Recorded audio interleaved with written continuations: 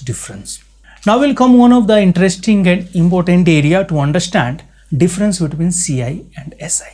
By calculation of the formula or due to, uh, based on the mathematical calculation, it is easy to say we can we will able to just subtract difference between uh, means amount of compound interest minus amount of simple interest we will get the difference but here our purpose is something different like if only we will depend on the calculation based on the formula then many of the times it will become much complicated.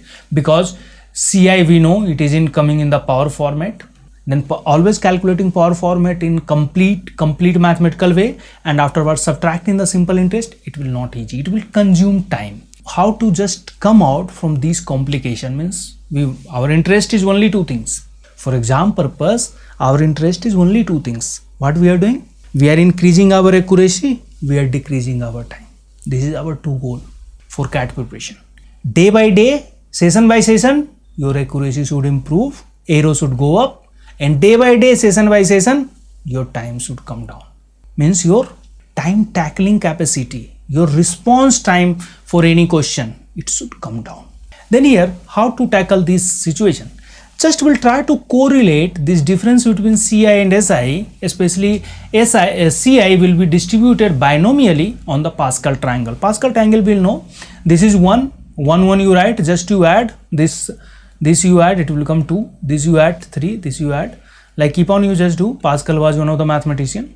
That time this his uh, pascal triangle was much much helpful for all mathematician who was dealing with the algebra and variable.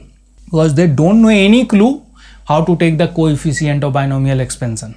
How to take the how to take the coefficient for binomial binomial expansion and how to find the number of selections. Means once permutation combination selection counting was keep on developing and we are uh, expanding the variables in form of a plus b to the power n or a plus b plus c to the power n then we we don't have any clue how to take the coefficient. Then pascal only was helping. He has made very big triangle very big triangle. It was up to n equal to 100 200 was there. If any expansion you want you just go horizontal way and you take it like this one. This is n equal to 2 if you want to want to expand a plus b to the power 2 then coefficient will become 1 2 1 we already know a square plus 2ab plus b square. What is coefficient here?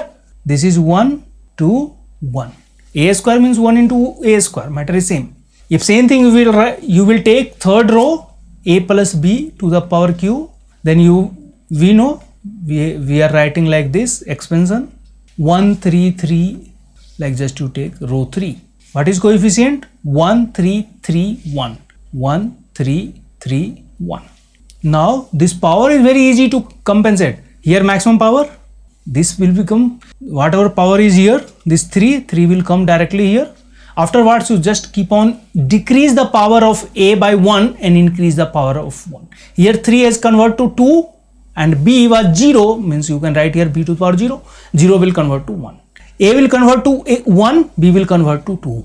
Again, A will convert to 0, B will convert to 3. How many terms? A plus B to the power 3, total terms will be 4 and coefficient will become 1331. That is the one of the use of Pascal triangle.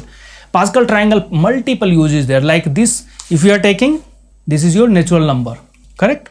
Afterward multiple triangular number 1 3 6 10 we know this if you are taking this one this is your triangular number. This we know already.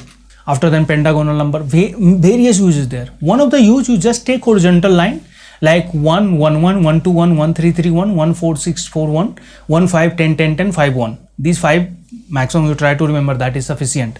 Because our interest here for compound